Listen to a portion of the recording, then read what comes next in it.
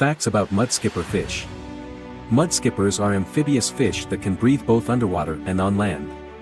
Yes, you heard it right. They have special gills and can absorb oxygen through their moist skin. These fish have the ability to walk on land using their pectoral fins. It's like they have their own built-in pair of legs. They navigate muddy terrains and even climb trees. Incredible, isn't it? Mudskippers are territorial creatures.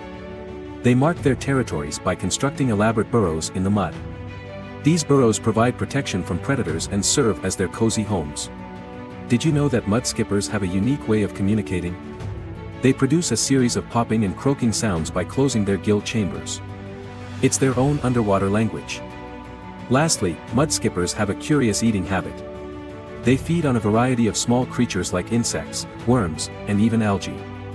These little fish are versatile and adaptable when it comes to their diet.